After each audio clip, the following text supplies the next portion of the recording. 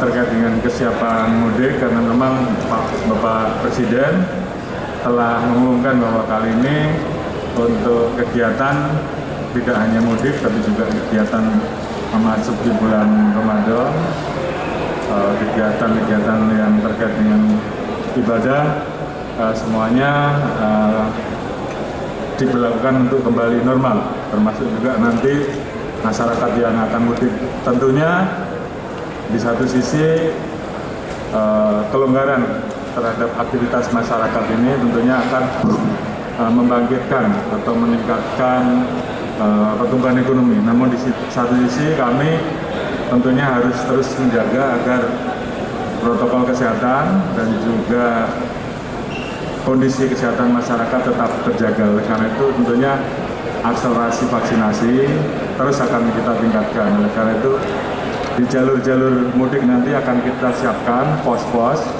yang memberikan pelayanan untuk eh, memberikan vaksinasi tambahan.